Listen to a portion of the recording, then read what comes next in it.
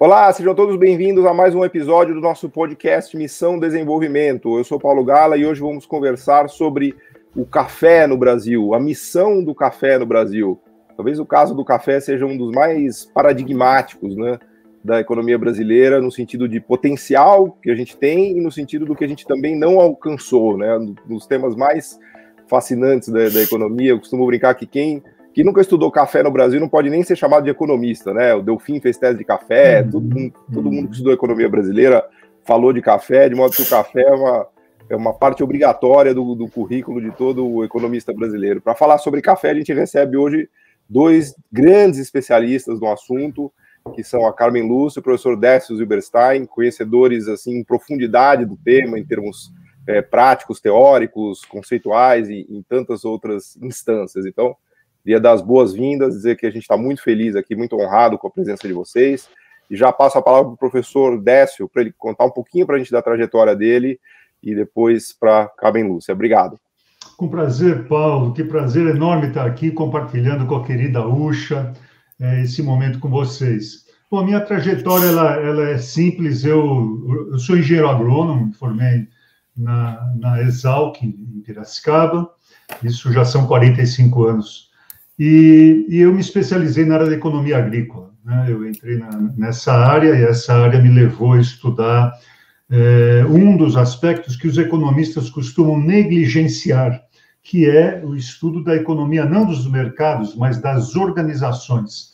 Isso me levou à Universidade de São Paulo, à Faculdade de Economia e Administração, e hoje também à Exalc, onde eu também sou docente, é, no, no, no programa de pós-graduação.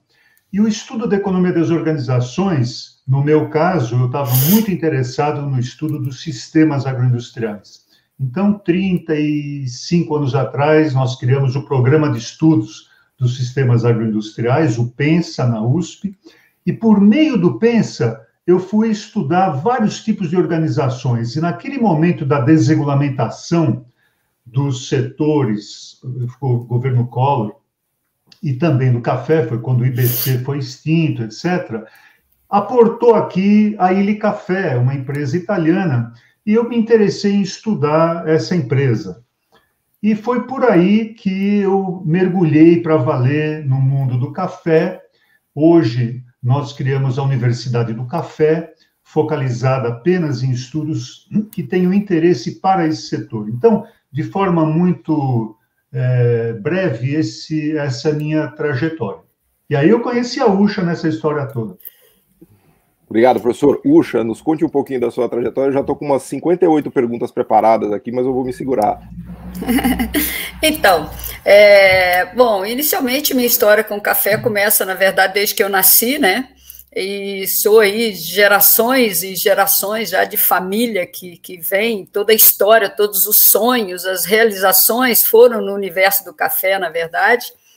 É, mas a minha formação ela não foi muito dentro do café lá no início, não. Na verdade, eu fui bastante cedo, com 16 anos, eu saí aqui do interior de Minas e fui para o Rio, onde basicamente. O sotaque continua ainda um pouco, né? É? é? O eu, sotaque eu, mineiro continua um pouco ainda, não? É o Mineiroca, né, Paulo? Mas aí fui para o Rio aí com meus 16 anos para estudar e tal. E a minha linha foi é, mais na área de, de saúde, educação. Eu fiz educação física, depois fiz formação em psicologia, é, segui aí com mestrados e depois iniciei meu doutorado também na linha de psicofisiologia, imaginário social, me engendrei por esses mundos aí, né? Fiz várias pós-graduações e formações aí, na, também dentro da perspectiva holística, transdisciplinar, enfim.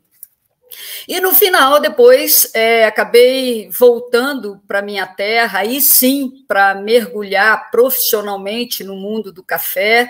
Infelizmente, nesse momento, por conta do falecimento do meu pai, é, e aí cai a ficha, né? E eu falei, meu Deus, e agora? Nós somos cinco irmãos, a gente vai. Essa nossa história acaba aí, a gente pega essas fazendas e parte pedacinho, cada um com seu pedaço, aí aquilo me impactou demais. E eu então desenhei ali um projeto, apresentei para os meus irmãos para a gente dar continuidade no nosso negócio, tipo, quase que meio que honrar o meu pai, né, que passava e que se dedicou tanto, é, sem contar aí meus avós lá atrás, mas Aí eu assumi a gestão das nossas fazendas, isso já foi em 2007, então tem 14 anos praticamente, né? Que, que aí, de fato, eu comecei a trabalhar com café. E meu mestre querido, meu professor Décio, ele chega na minha vida quando eu começo essa nova etapa de vida, na verdade, né? É, aí fui para universidades e tentar me especializar e me capacitar um pouco mais para eu mergulhar no mundo do café. E, e, a Universidade do Café chega na minha vida como um dos maiores presentes que eu já tive. Né? O professor Décio estava lá, junto de outros grandes mestres, com quem eu aprendi demais. E começa aí esse processo. Então, Paulo, são 14 anos aí que eu estou é, na gestão das nossas fazendas e, graças a Deus, a gente tem conseguido resultados incríveis e muito focados na questão da sustentabilidade, produção de cafés especiais e entregando cafés para o mundo aí, né, professor?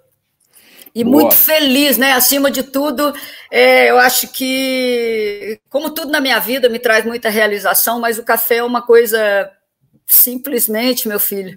A hora que a gente é mordidinho por esse bichinho, tem jeito não.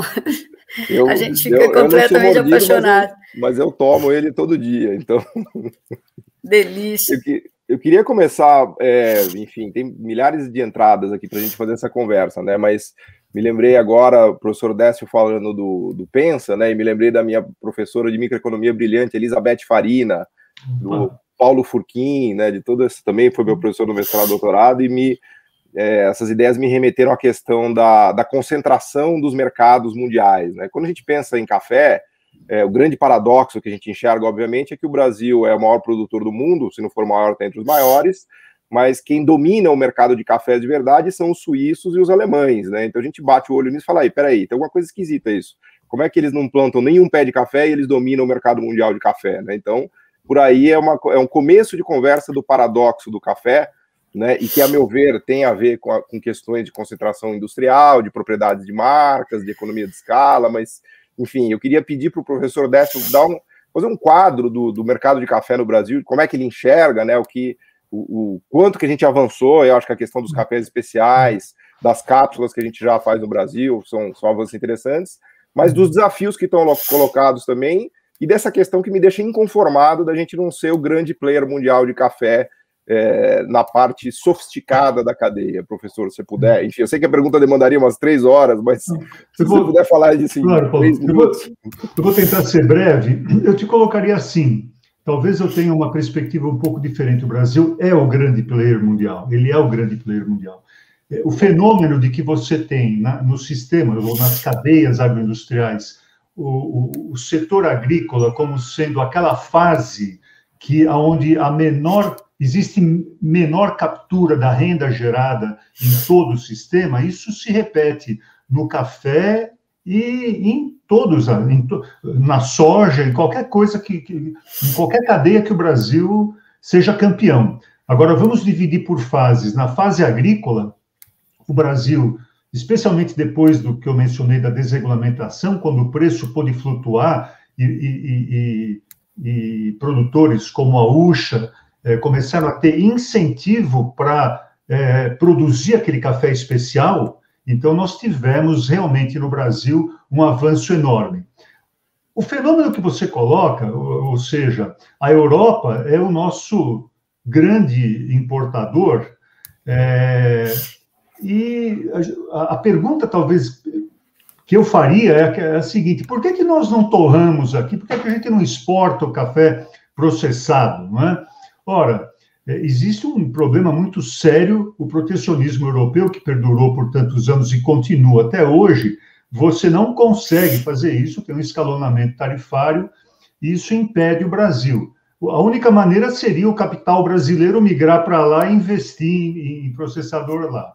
Agora, as torrefadoras, elas variam em termos de tamanho, é, algumas têm marca muito forte, mas não são tão grandes, eu colocaria a Ilha como um exemplo, uma marca mundial, entretanto, ela é uma empresa com uma única torrefadora lá em Trieste. É, não se compara com as grandes corporações como a Nestlé, etc.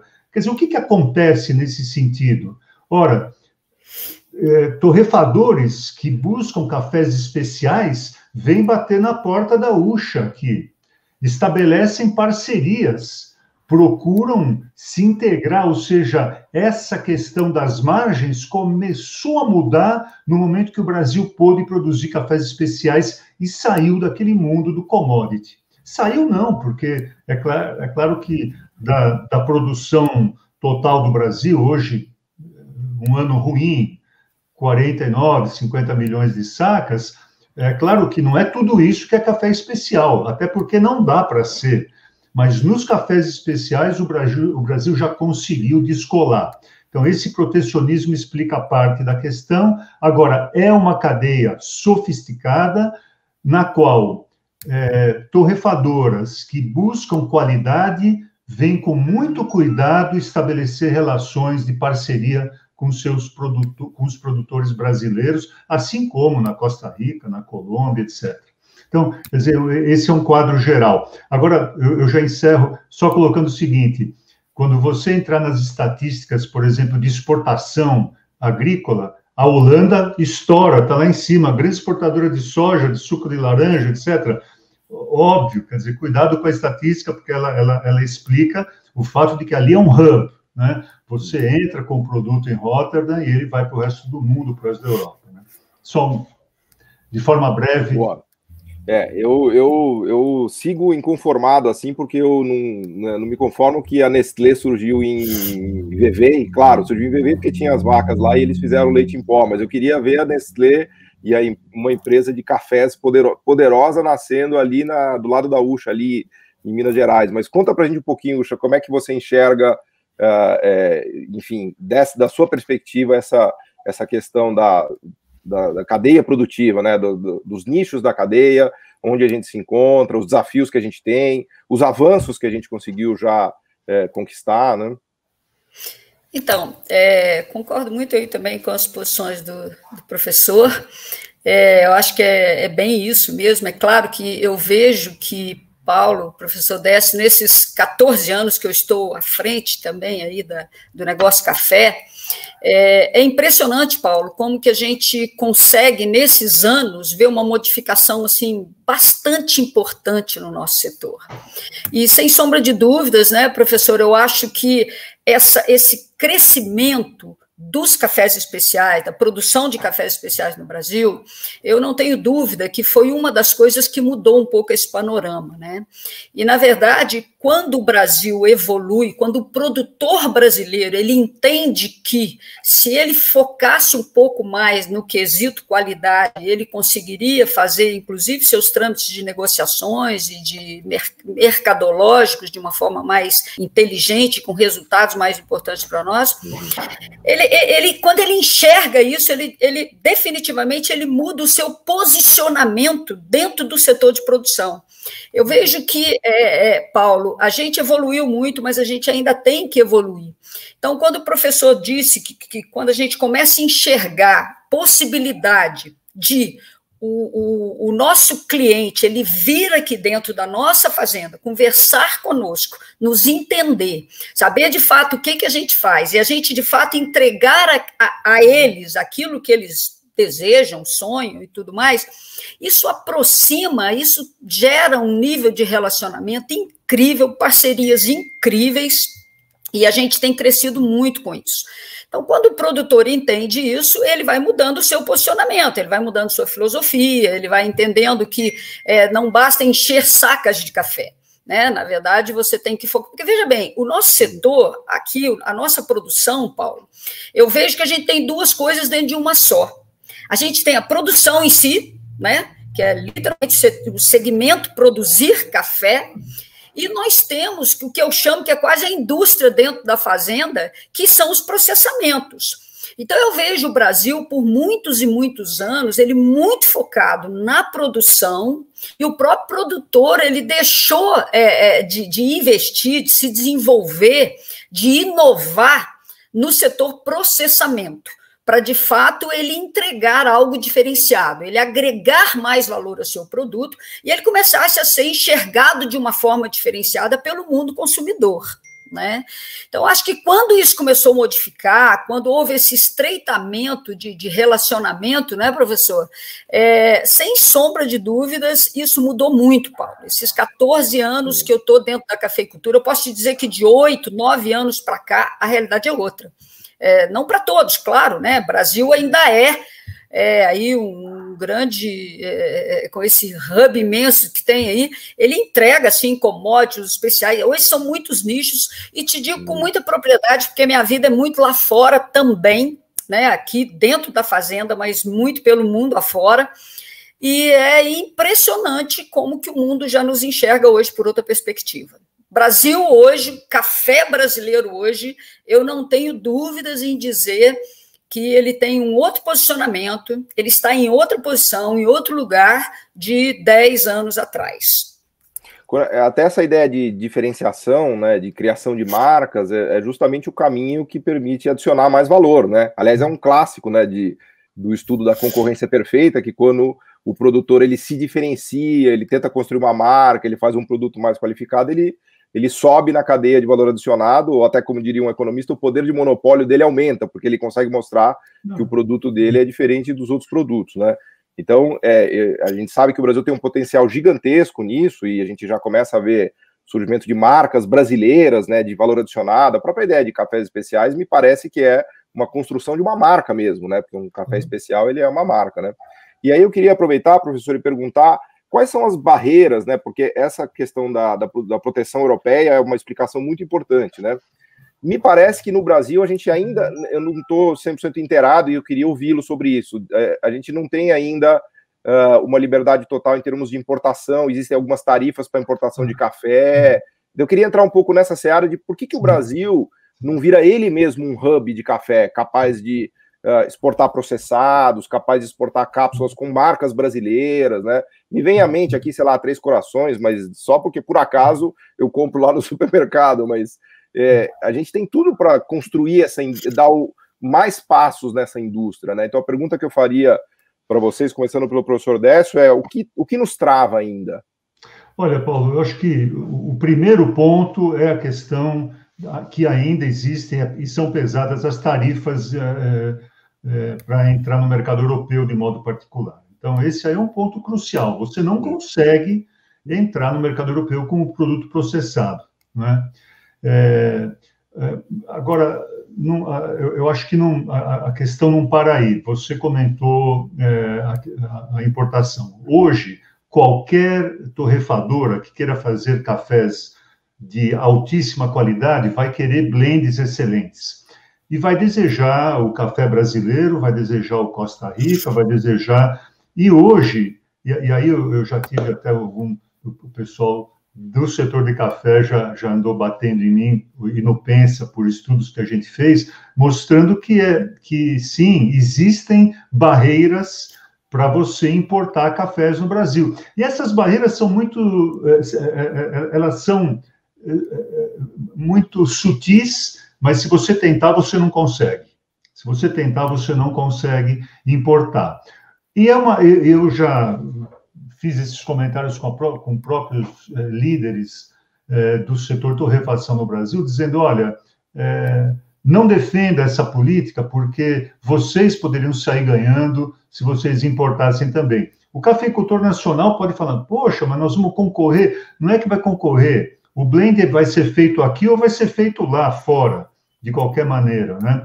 Para a indústria torrefadora no Brasil hoje, é, ela, ela, é, é, é, ela esbarraria na barreira tarifária, mas também nas barreiras de importação. Agora, posto isso, eu devo dizer que sim, torrefadoras com marcas, como você já colocou, que se posicionam no Brasil para o mercado doméstico, com o produto brasileiro, com a diversidade que tem, e nas áreas novas da Bahia, a Rondônia, Mato Grosso, é, veja, é, Paraná ainda tem resíduos, São Paulo, 4 milhões de sacas só, a Bahia produz 4 milhões de sacas hoje. Quer dizer, hoje, uma, uma indústria que queira fazer um blend de qualidade no Brasil, consegue é, para o mercado doméstico de forma muito tranquila. Agora, o Brasil é um importador também desses cafés especiais que saem do Brasil, são processados fora e voltam para o Brasil. Isso acontece em todo o mundo, acontece no Brasil também. Como é que você vê isso, Luciano? Então, pois é, eu acho que é, eu também sou, como o professor disse, eu sou totalmente a favor de que a gente tenha liberdade e abertura para tudo. Também não, não, não me agrada nada, e eu, como produtora mesmo, não me sinto ameaçada de forma uhum. alguma, é, muito pelo contrário. Né? Acho que isso aí seria um dos grandes passos que nós daríamos para o Brasil, talvez de fato começar a fazer seus blends aqui e importar. A gente tem sim, conhecemos muito bem essas questões de essas barreiras, né? Que, que nós temos, e a gente tem que lutar também é, é, é contra aí tantos anos, né, de, de, de, uma Alemanha, de uma Europa, de uma Itália, né, é, aí com, com, com, toda essa força que tem, pensando aí os torrados e cápsulas e tudo mais.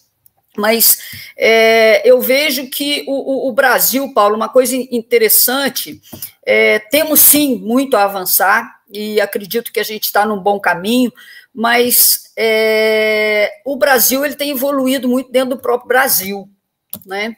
Eu penso que quando a gente hoje vê o perfil de consumo dentro do Brasil mudando de forma significativa, quando a gente vê jovens brasileiros hoje buscando por cafés, mas realmente cafés, né, professor? Ou seja, é, realmente demandando coisas mais interessantes e buscando é, as cápsulas de, de, de, um padrão de qualidade mais elevado, é, enfim, é, indo para as cafeterias, que eu acho que tem feito um trabalho belíssimo em termos de, de vamos dizer assim, de reforço dessa mudança, desse refinamento do consumo do, do, do brasileiro. Eu acho que isso aí já tem mudado muito. Você falou da Três Corações, e a Três Corações, ela já está conseguindo fazer algumas coisas, ainda América do Sul ainda não está conseguindo ir para a Europa e tudo mais, já está com algumas mexidinhas na China, mas já está começando a trabalhar algumas questões, professor, inclusive de importação de café, se não me engano, colombianos, já colocando aí nos blends, em cápsulas e tal, e tentando. Mas não está sendo fácil, eu converso muito com eles ali, realmente é um trâmite ainda bastante difícil e é uma concorrência pesada, né? Esse pessoal está muitos anos no mercado Dura. e é, não, não é uma coisa é. simples.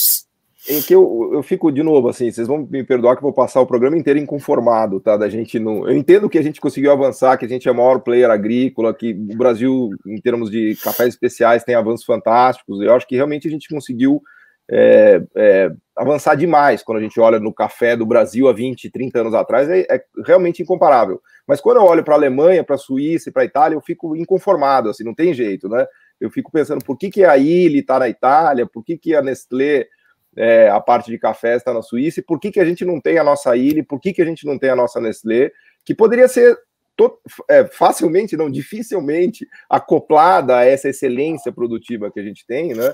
E aí a resposta, óbvio, vocês já deram, são processos é, é, antigos, né, em que esses, uhum. essas empresas já conquistaram o mercado, já têm as marcas, já tem as economias de escala, já tem os hubs logísticos, quer dizer, é, nós estamos falando aí de mais de século, né, de, de avanço, né, de, de ocupação de mercado, né, que torna a nossa vida muito difícil para dar mais passos na cadeia produtiva. Os mecanismos de mercado são muito poderosos, né, para, uh, vamos dizer assim, nos dificultar dar avanços é, no sentido de que há uma concentração é, industrial importante. Mas é, se vocês tivessem uma carta branca assim para fazer qualquer coisa no setor, né, e falar, olha, realmente a gente tem que fazer uma missão de desenvolvimento aqui, que é o título do nosso podcast, né?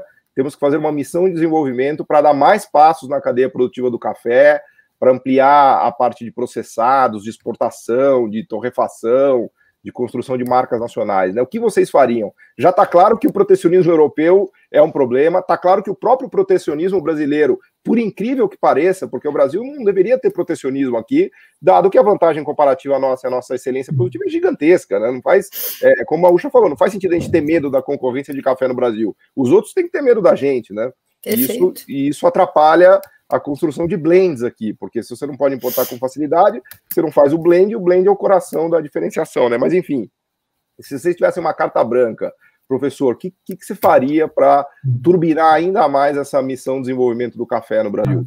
Eu vou colocar duas coisas. Primeiro, eu acho que num processo natural a história vai avançar e o Brasil é, naturalmente vai, vai continuar com uma agroindústria de processamento de café aqui no Brasil, que ela vai se estabelecer. Nós temos um mercado interno imenso, né, ainda pouco ocupado. É, Começa-se, eu diria, a beber cafés de qualidade no Brasil. Então, tem, tem, tem esse caminho natural que, com esse fortalecimento e com o tempo, porque esse protecionismo na Europa custa muito caro para a Europa também, isso tenderá a, a, diminuir ao longo do tempo, eu acho que é um processo. Agora, se eu tivesse que fazer uma coisa hoje, olhando essa parte da cadeia onde nós somos imbatíveis no mundo, eu diria o seguinte: não podemos tirar a mão da pesquisa realizada em café, que hoje está no limite do limite. Quer dizer, mínimo, é um, limite, limite mínimo, mínimo. É um pecado o que é, acontece na pesquisa em geral no Brasil, na cultura, na pesquisa, etc., mas na pesquisa para a agricultura de modo particular e para o café de modo particular. Nós fizemos um estudo alguns anos atrás sobre, fizemos um mapeamento da pesquisa do café no Brasil, percebemos como que as instituições de pesquisa no Brasil ainda podem avançar, tem vários elementos, por exemplo, formação de redes de pesquisa, nós mapeamos as redes é, Até se puder, puder, falar um pouquinho, um minutinho ou dois, assim, dos institutos, das redes, que é legal para as pessoas conhecerem, né, do que se faz. Sim, não, perfeito. Eu acho assim, o Brasil tem uma tradição de pesquisa formidável. Quando, quando a ferrugem chegou no Brasil, é, o Instituto Agronômico de Campinas já tinha ali é, é, material genético pronto para avançar, não é? É? Ou seja, o Brasil sempre esteve à frente. Então, nós temos o IAC como um hub importante. desculpa, temos... desculpa, desculpa, IAC. Instituto Agronômico de Campinas, nós temos o, a Universidade Federal de Lavras, em Minas Gerais, nós temos a Universidade Federal de Viçosa, em Minas Gerais. É, eu diria que esses. É, é, é e, e, e, pesquisas espalhadas por outras. A Embrapa, a Embrapa Café, que avançou de, de modo considerável. Então, o Brasil tem um histórico de pesquisa que não pode ser é, de forma alguma destruído, não pode, porque isso comprometerá essa nossa competência para o futuro. Então, se eu tivesse que focalizar um aspecto, eu diria, é esse, nós não podemos perder essas vantagens que o Brasil aprendeu é, a, a, a, a, explorar de maneira tão positiva no segmento da produção agrícola. Não é? É, é, e eu colocaria um segundo que eu não vou explorar agora, mas um ponto para talvez você explorar, Paulo. O Brasil tem uma estrutura de cooperativas em café que é também muito importante, dá suporte de forma muito interessante, muito bem organizada. Mas esse é um outro assunto, se você quiser explorar. É, posso falar um pouquinho, Paulo? Não, pode falar não, deve. Você está aqui para falar, por favor. então, é que os temas são tão gostosos, dá tanta vontade a gente é, falar tanta coisa. Está me dando uma vontade de tomar café desgraçada, viu? Daqui a pouco se eu é... levantar e pegar um café ali, vocês não reparem, não. Eu, eu também, viu, bem? Tinha que ter trazido um, tinha que ter trazido um, um desse. Aqui, tinha que ter trazido água. um desse do professor aí, ó. Nem lembrei disso, viu, professor? É, caramba, Toma viu? por nós aí, ó.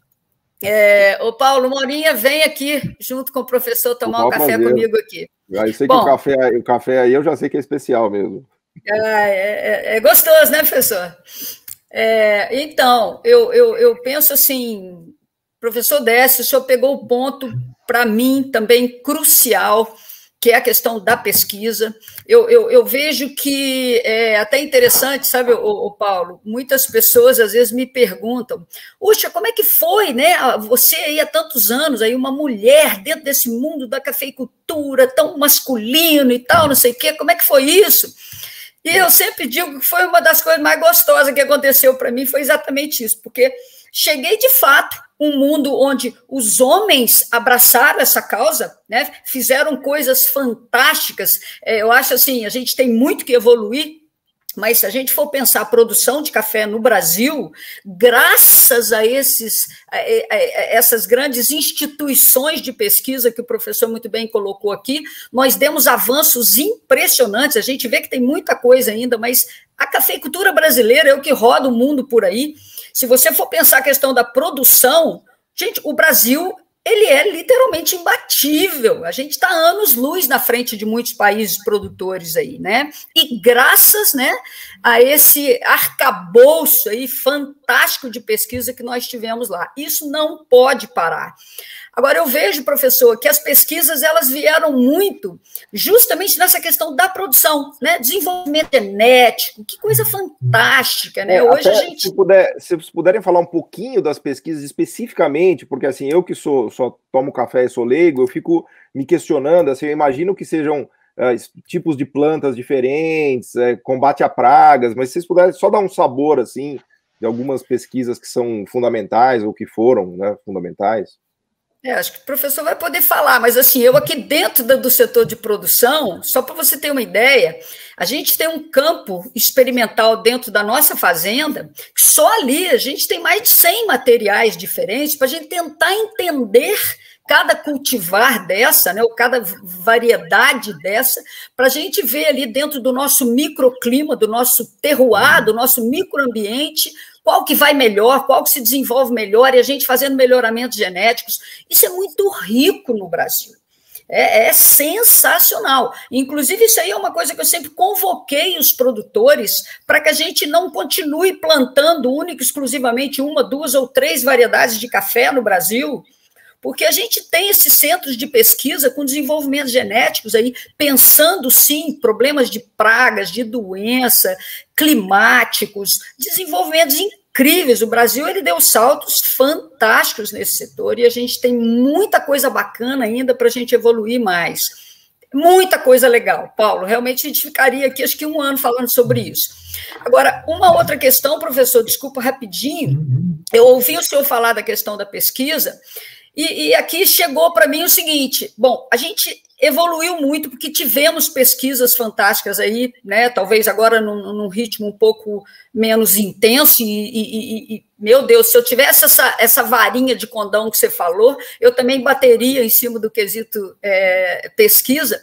Mas talvez, professor, a gente não tivesse tido tanta pesquisa justamente nessa questão de comercialização e essas coisas todas. A gente vem muito no setor da produção e demos avanços incríveis aí, sem sombra de dúvidas, né? Agora, se eu tivesse uma outra cartinha, eu também diria Quantas que... cartas você quiser. Aqui, quantas então, você quiser. Obrigada, amor. Eu, eu acho que a questão de se nós conseguíssemos colocar as nossas torrefações lá do outro lado do mundo, sem sombra de dúvidas, esse seria um caminho muito bacana, até porque, pensando no universo dos especiais, que é onde eu estou muito dentro dele, hoje, Paulo, também é muito complicado a gente pensar porque quando você de fato quer entregar qualidade para o consumidor lá na ponta, é, é, muito complicado a gente estar tá torrando um café aqui no Brasil para ele passar por todo o trâmite da exportação, de, de, da logística, de transporte, aquela coisa toda, e chegar do lado de lá. Eu nunca vou conseguir colocar na sua xícara do outro lado do mundo aquilo que eu quero colocar na sua xícara. Porque é, são tantas nuances que elas vão se perdendo, porque o café tem que ser fresco. Eu aqui, o maior cuidado que eu tenho, entendeu? É de entregar para os meus Poxa, parceiros. Eu não, eu não conformo. Eu não me conformo de você produzir o café aí, ele vai lá para a Suíça para depois ele voltar para cá para eu ter que tomar, assim, me fico inconformado não, com isso. Aí, isso aí é danado mesmo. Esse é. passeio do café aí, que perde completamente esse frescor que está aqui do lado. Eu estou em São Paulo, uma hora da fronteira aqui, né? Então, por isso que, que, é, por isso que eu digo que é muito bacana, vamos entregar essas coisas maravilhosas aqui para o Brasil, que o Brasil de fato conheça, porque aqui a gente pode fazer. Né?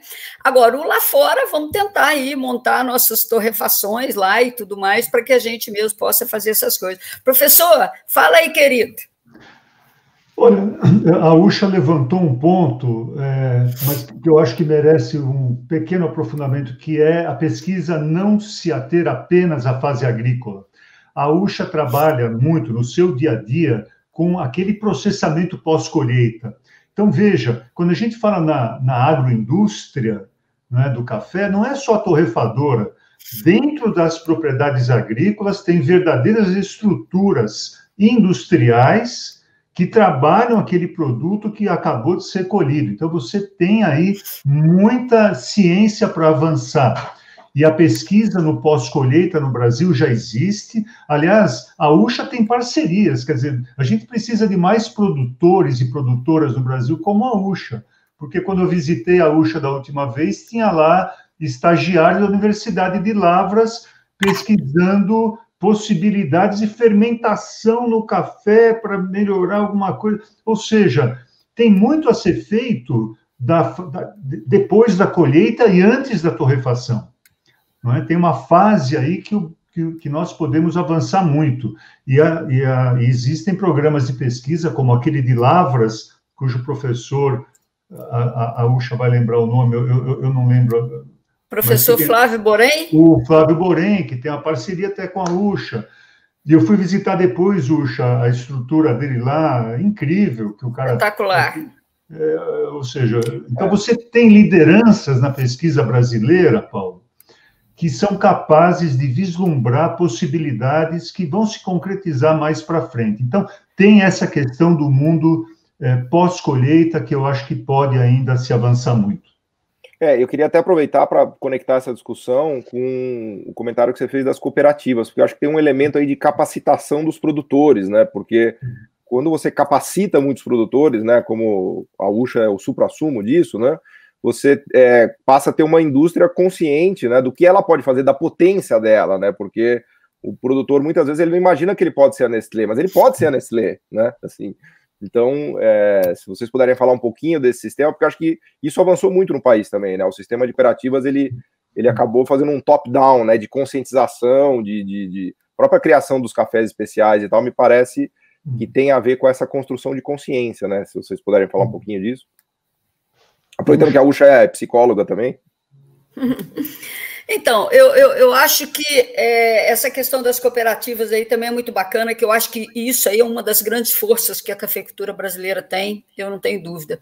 Até é, uma coisa bacana, compartilhando aqui um pouquinho com vocês, quando eu comecei lá atrás, eu tive um pouquinho de dificuldade até na ocasião de trabalhar com as cooperativas, porque, é, mas não era problema com as cooperativas. O problema, na verdade, era um pouco meu, porque o que acontece? Como eu parti para essa coisa da diferenciação, é, as cooperativas elas trabalhavam no universo das commodities, né? Então, quando você colocava um café dentro da cooperativa, o seu café era mais um, ou seja, você recebia um papel e você não conseguia sequer manter a identidade do seu café dentro da cooperativa né? Então, por isso eu tive um pouco de dificuldade, porque como eu comecei a trabalhar com lotes de origem, coisas completamente especializadas, diferenciadas, eu precisava manter a identidade desses lotes. Então, nas cooperativas, naquele momento, eu não tinha essa condição. Então, eu tive que partir um pouco, assim, por mim mesma, tentando ir atrás de um mercado e fazer as coisas aí por outro viés mas não que eu não ache que as cooperativas são fantásticas, principalmente para os pequenos produtores.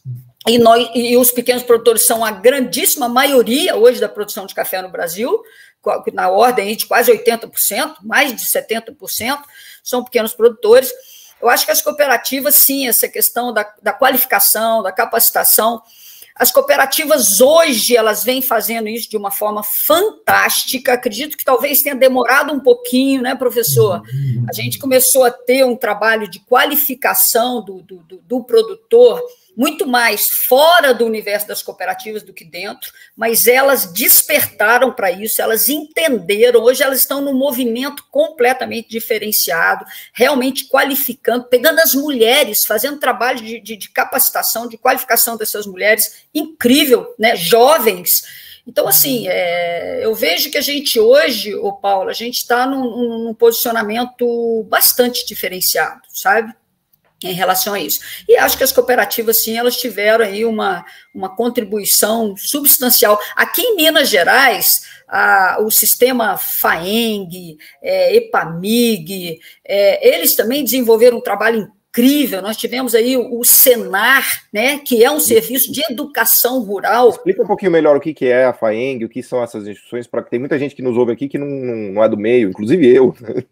É verdade. Então, é, a EPAMIG, a, a, FAENG, a FAENG e a, e a, e a EPAMIG são. A EPAMIG é um órgão de pesquisa de Minas Gerais, né? Também com desenvolvimento genéticos, essas coisas todas aí, muito bacana, desenvolvimento genético é, do, do, do, do cafeeiro, né?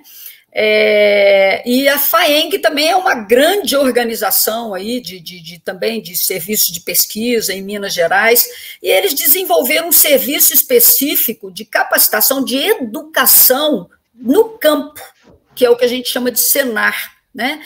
E o Senar realmente começou a dar uma oportunidade muito bacana para a gente, inclusive eles buscaram as cooperativas na época para poder trabalhar em parceria com as cooperativas, e lá atrás, há 14 anos atrás, eu vejo que o Senar ele tinha dificuldade de entrar nas cooperativas e uhum. nas fazendas. Ninguém queria capacitar ninguém. Eu me lembro até que eu digo que eu nadei de braçada na época, porque eu peguei o cenário e pus ele lá dentro de casa. Falei, fica aqui, fica aqui, entendeu? Dá tudo que é custo, faz tudo. Ele fala, ah, mas pode trazer de outras fazendas para cá. Eu falei, faz o que vocês quiserem, mas eduque, capacite, entendeu? Bote essas pessoas dentro desse contexto. Então, eu digo que eu nadei de braçada no Senar lá, porque foi fantástico, eles me ajudaram pra caramba.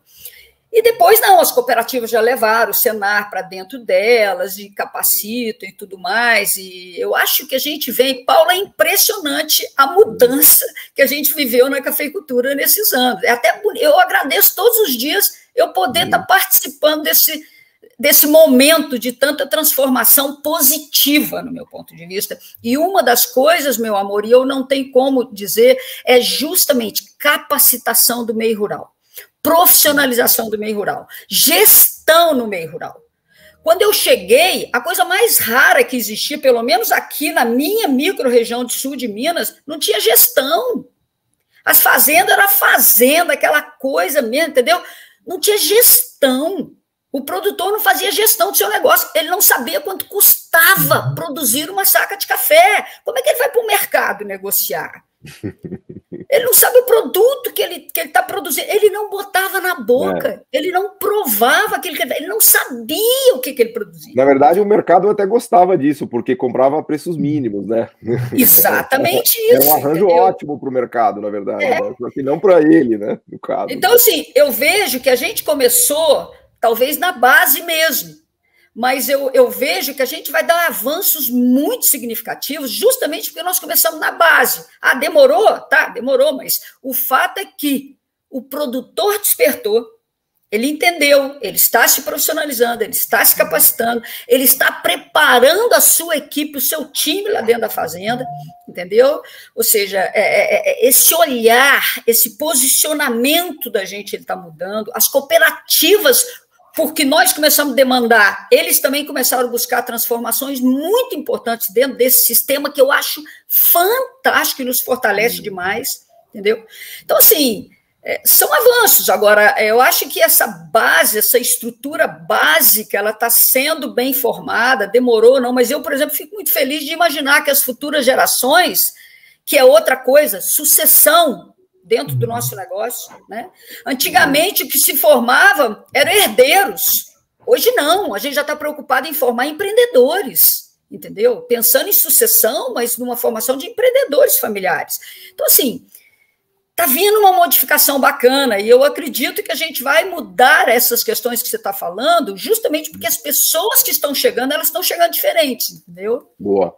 É, porque eu, quando eu olho, né, o quilo, eu, não, eu vou dar um chute errado aqui do quilo do café. Vocês sabem me dizer, pegando, convertendo uma saca para quilo, quanto que custa o quilo do café hoje? Vocês torrado? É, um chutão, assim. Não, torrado ele ou o café in natura? Não, o, o in natura, o in natura e o torrado. Não, o Inatura, por exemplo, num café especial, eu sei. Antes de chegar com vocês aqui, eu estava aqui no celular negociando com um cliente meu então, então brasileiro que tem uma micro torrefação no interior de São Paulo comprando café aqui e perguntando por quanto que eu faria o quilo do café verde, o café in natura para ele, né? É, esse café que eu estava vendendo para ele estava na faixa de 25 reais o quilo. Tá. 25 reais o quilo. Por, que, que eu estou fazendo essa pergunta? Porque lá na frente eu quero pegar o quilo da cápsula, só para fazer um raciocínio exagerado, né? O quilo da cápsula deve ser dos 300 reais, 400 reais. Quanto que vocês chutariam que é o quilo da cápsula? Da Nespresso? Da Nespresso. É um quilo de cada. Ah, não é barato, né, professor? Mas eu não sei, eu não compro, eu não compro Nespresso. É. Mas então, vamos, vamos chutar. Uma vez eu fiz essa conta e cheguei em 400 reais. Né? Ah, e aí, é. por, que, que, eu tô dando, por que, que eu tô dando esse chute? Né? Como é que a gente sai dos, dos 20, 25 reais para os 400 reais? Né? Porque a gente está abocanhando só não, esse. Não. Mas veja que é o seguinte, a Ucha, quando ela fala 25 reais o quilo, ela está falando de 1.500 a saca. Exatamente. É, veja, você pega um café aqui, cotação aqui no sul de Minas, eu estou falando agora aqui do sul de Minas, onde eu estou, é 760 reais a saca, um café tipo 7, ou seja... É metade. Essa é a diferença que nós estamos falando, que a Ucha faz, essa é a diferença. E não é que vai colocar ali na cooperativa e esquece o café, não. Esse comprador dela quer comprar dela hoje, quer comprar o ano que vem, quer comprar. Assim como os alemães que compram da Ucha, vem todo ano bater na porta da fazenda, visitar a Ucha. Não é? E quando não pode vir por conta de, da, da, da pandemia, está em contato com a Ucha, porque quer que essa relação se mantenha. É outro mundo, nós estamos falando de outro mundo eu, eu diria assim, os produtores que avançaram na área dos cafés especiais, eles estão sim muito bem, eles estão capturando uma parte da renda que no commodity esquece, ele nem sabe quanto custa, como a própria Ucha colocou. É, eu queria retomar um outro ponto, mas deixar uma sugestão, viu, Paulo? O mundo das cooperativas mereceria um um podcast. Programa especial. é, aliás, porque... só para registrar minha agonia aqui, porque a gente já está com 45 minutos de não, programa sei, já sei, começa sei. a dar agonia de. Claro, claro. Não, eu, eu, não quero nem entrar, apenas eu quero reforçar um ponto que não, mas, colocou. Por favor, por favor. A, a, as cooperativas, elas têm um papel muito importante no Brasil e elas são conservadoras por natureza, são conservadoras. Então, as mudanças que, que aconteceram no mundo do café, no mundo do vinho, as cooperativas do sul do país perdiam os bons eh, é, viticultores para empresas não cooperativas. Eu tenho teses de alunos meus que estudaram isso. Ou seja, o leite é a mesma coisa. É, o, o, bom produtor de leite é, é, capturado por empresas não cooperativas e a cooperativa fica com os tem uma seleção adversa, como a gente diz. Ou seja, mas as cooperativas foram mudando foram mudando. Agora, elas têm dificuldades. Quer ver uma dificuldade típica de cooperativa? Pagar por qualidade. Isso aconteceu no caso do é, leite. Que é a lógica da, da diferenciação de produto, né, professor? Agora, Se não pagar por qualidade, não tem diferenciação de produto. No mundo cooperativo tradicional, houve grandes. A, a, você lembra da Itambé aqui em Minas? Opa, quanta, agora, manteiga, quanta é, manteiga Itambé eu não comi Pois é, vida. a Itambé teve problema na justiça, porque começou a pagar por qualidade e os produtores que não tinham qualidade queriam preço igual. Então, é, isso isso se repete. Agora, o mundo cooperativo foi mudando. Mesmo no mundo da cooperativa tradicional, só o fato de fazer compras em comum bem feitas, ou seja, fazer a compra técnica, ou tirar do Fantástico. agricultor essa preocupação se aquele produto é mesmo que o vendedor está falando, e a cooperativa fazer isso, hoje Fantástico. você vê cooperativas fazendo isso de uma maneira incrível. Você tem cooperativas que cresceram muito na agricultura fazendo arroz e feijão bem feito. Agora, vamos pegar a maior exportadora de café do Brasil, que é uma cooperativa, Cochupé. Cochupé. Ela, para poder entrar no mundo de café de qualidade, ela teve que abrir uma empresa, ela comprou uma empresa de qualidade de café, specialty coffees, fora da estrutura da cooperativa. Olha, olha, porque teria muita dificuldade de. Então, é, é um mundo muito interessante, mas ele precisa de mais tempo para a gente conversar. É verdade, professor. É muito complexo isso aí. Tem muita coisa boa para a gente falar. Ah, eu acho fantástico, porque eu, como economista, vendo isso, eu tenho esse, esse vício, né, de pensar o mundo como um sistema econômico, né, porque eu estou há 20 anos na economia, mas eu fico inconformado, porque isso que vocês falam da diferenciação é a base do, do lucro e do ganho, né, que é o poder de mercado. Então, quando você faz um produto com mais qualidade, mais diferenciado, com características próprias, com pesquisa, com desenvolvimento, é o caminho para você ganhar mais, né? A diferenciação dos produtos é o que dá poder de mercado para qualquer, qualquer produtor, né? E, e, é interessante ver essa, essa dinâmica das cooperativas que é meio contrária ao interesse do próprio produtor, né? No final do dia é um negócio meio paradoxal, né? Porque é, é, enfim, acaba não privilegiando a, a coisa da uhum. diferenciação, né? Mas, eu, é... Se você me permitir, Paulo, eu diria assim, a cooperativa claro, tradicional... Estou tentando, tentando, te provocar, não estou nem querendo a, permitir. A, a, cooperativa tradicional, ela faz o feijão com arroz, ela faz compras em comum e vendas em comum. Eu fui visitar há pouco tempo com uma missão do Ministério da Agricultura, levando novos, é, isso uh, alguns anos atrás, já faz uns cinco anos, eu uh, levei os, os novos profissionais recém-contratados para visitar cooperativas no sul do país. Nós vi, eu pude mostrar para esses profissionais uma situação onde a grande, a grande corporação vendedora de insumos bate na porta da cooperativa, fala, compra esse. Ela fala, olha, o campo experimental está ali, você vai colocar o seu produto, nós vamos mostrar o desempenho dele é, junto com a concorrência e o nosso produtor vai tomar decisão, ponto final.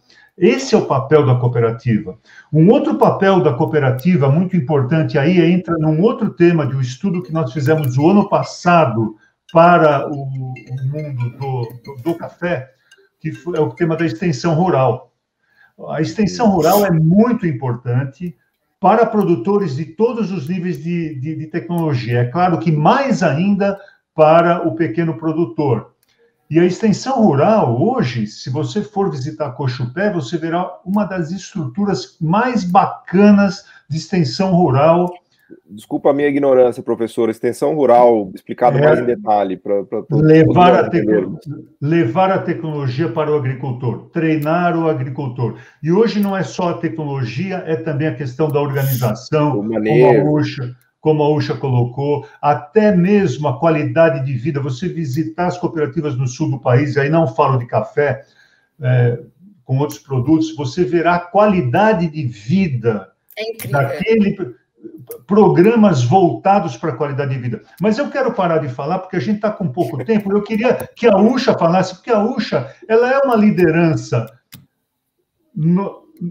Ela trouxe o tema da mulher no café para o Brasil. A Ucha é uma liderança na exportação de cafés especiais e ela tem iniciativas, especialmente nessa questão do equilíbrio de gênero. A, Há quanto tempo que a Ucha já, já tem essa preocupação, não é mesmo, Ucha? Ucha, as palavras finais, as palavras finais serão suas. E eu não, eu não estou sendo machista ao dizer isso, pelo amor de Deus. Obrigada, querida. Então, quando eu estava é, te ouvindo aqui, é, de, de, de, você inconformado, e eu assino embaixo, viu, bem? Eu estou contigo, eu também quero ver o Brasil em todas as pontas. Eu acho que a gente está fazendo coisas maravilhosas e que o Brasil não sabe que o mundo muito. Aliás, acho, acho, que muitas coisas, né, professor? O mundo sabe mais do que nós aqui no Brasil. É possível mesmo. Né, amor? Porque o que, que acontece? O, o, o nosso, eu me lembro lá atrás, rapidinho aqui contando, porque o tempo estava voando, eu dizia para a minha equipe, para o meu timaço lá da fazenda, que, eu, que, meu Deus do céu, que delícia, meu povo. Mas eu dizia para eles, gente, nós precisamos mudar, mudar, mudar. O mundo vai vir aqui dentro dessa fazenda eles diziam, hoje eles falam para mim que falavam, essa mulher é louca, essa mulher é louca. Hoje o mundo está lá dentro. Ou seja, o mundo de fato veio, né? É, porque valoriza as coisas que a gente está fazendo aqui. E o Brasil demorou muito mais para chegar. Então, assim, eu acho que a gente ainda tem muita coisa bacana para fazer aqui dentro. E, Paulo, quando você fala, por exemplo, quando a gente pensa no Nespresso, uma Nestlé e tudo mais, né? É, que também a gente tem que respeitar, porque os caras fazem um trabalho fantástico, claro, porque a gente tem muito que aprender com eles. Incrível. Mas, por exemplo, eu aqui, eu, a gente tem clientes, é, Paulo, brasileiros, né, que têm microtorrefações ou, ou, ou, cafeterias espalhadas aí pelos grandes centros do Brasil, por exemplo, vou, vou citar aqui em São Paulo, grandes cafeterias. Suplicy, Suplicy, que eu tomo café direto. Então, e esse pessoal que compra café direto da gente, inclusive alguns, a gente é que faz a torra, entrega o café torrado para eles lá, sai da fazenda já direto lá para eles. É, o que, que acontece? Eu acompanho muitos passos, a gente tem uma parceria muito próxima e eu acompanho muito o dia a dia desse pessoal, inclusive para eles desenvolverem as cápsulas, aonde ir, onde não, como torrar esse café, que tipo de cápsula, que material que é esse, cuidado com a qualidade, enfim, a gente vem discutindo muito isso. E, na verdade, eu vejo que eles também têm uma trajetória e um caminho com um custo bastante significativo, entendeu? Então, às vezes, quando a gente fala, ah, estou vendendo a 25 o quilo do café in natura, né? Se você for pensar depois, ele passar por todos os processos, até estar tá na xícara do consumidor lá, um Suplicy ou qualquer outro que tem uma cafeteria nos Jardins em São Paulo, ou em shoppings maravilhosos e tudo mais, uma ilha, né? Quanto custa você colocar isso na xícara desse consumidor lá na frente? Então, também tem uma trajetória aí tão grande quanto a nossa dentro da fazenda, por exemplo. Eu tenho um custo de produção, é, vamos colocar aí, é, 600 reais para produzir uma saca de café. Então, assim, se eu também consigo vender ela quase dois mil reais, é, eu estou muito satisfeita, eu estou super feliz. Ou seja, é, eu estou tendo uma margem muito bacana no meu negócio. Se essas pessoas também estão conseguindo levar lá na frente, tendo uma margem muito bacana, eu acho super legal, né? Vamos. É, mas que todo mundo tem a sua margem, né? Mas os custos eles são muito elevados nesse processo inteiro. Eu vejo, Paulo, o produtor, ele fala muito: ah, estou vendendo uma saca de café a 500 reais e o cara vende uma xicrinha de expresso, não sei quanto. Ele faz uma continha assim simples. Eu falo: peraí, Aldo. Mas, Uxa, mas deixa eu te falar, você precisa pôr no navio, o navio vai até Roterdã, Roterdã ele pega um trem, aí ele vai até Schwerin, na, na Alemanha, aí bota numa cápsula, aí bota no trem de novo, bota no navio e volta para São Paulo. Não, olha isso aí, isso olha aí, isso aí. custo tem envolvido não, isso daí. Né? Isso, isso aí, isso aí você tem razão. Acho que essa coisa da gente mandar para lá para voltar para cá é danada, né, professor? Agora, Paulo, é, é, Yusha, quero fazer um comentário sobre isso, é um ponto que eu tinha colocado quando o Paulo fez o primeiro comentário. Não se atenha apenas a, a, ao processamento do café. O Brasil está passando por um processo de desindustrialização seríssimo, e hoje a gente cria condição para esse empresário que quer abrir uma segunda eh, planta de processamento, está lá na Alemanha, fala, não, vem aqui para o Brasil, põe, ele vai olhar o ambiente de negócios, ele vai falar, não, não vou não, eu vou continuar aqui, vou pôr nos Estados Unidos, ah, mas, etc. É que lá ele está protegido pela tarifa europeia, Décio. Aí é, mas se ele é for, se também, ele, né? Não, tudo bem, mas se ele for para os Estados Unidos, se eu tiver que escolher hoje entre colocar uma planta de processamento de café no Brasil e nos Estados Unidos, eu vou pôr nos Estados Unidos para café especial. E vou comprar café da Ucha se ela quiser vender para mim. Que loucura, né? Mas é isso que Ué. tem que mudar, né? Porque ah, então, não é possível então eu acho aqui lucrativa, é. né? Aí então a gente tem que pensar por que, que Ford foi embora, por que, que tem um montão de gente indo embora, né? E, é. e mudar esse ambiente para para criar um clima melhor para que a indústria fale, não, eu quero aportar aí mesmo, nesse país Bem tão bacana. Né? Boa, vou agradecer, realmente vocês deram uma aula fantástica aqui para a gente, fico sempre com pena que o tempo é curto, né, porque a gente tem tanto assunto para discutir e o conhecimento de vocês é tão, tão vasto que realmente a gente precisaria de muitas horas, mas acho que já deu para dar um sabor aqui do café no Brasil, acho que todo mundo que é, nos ouviu vai, vai adorar, porque realmente eles levantaram os pontos mais, mais interessantes e deram é, explicações incríveis aqui. Então, desejar sucesso aí para a Ucha na, na, empreitada dela. Obrigada, Agradecer querido. também, professor Décio, pela aula e, e, e, ficamos por aqui. Muito, muito obrigado. Foi um prazer, uma honra recebê-los aqui no programa. Obrigado. Muito prazer, muito, muito obrigado. Obrigada.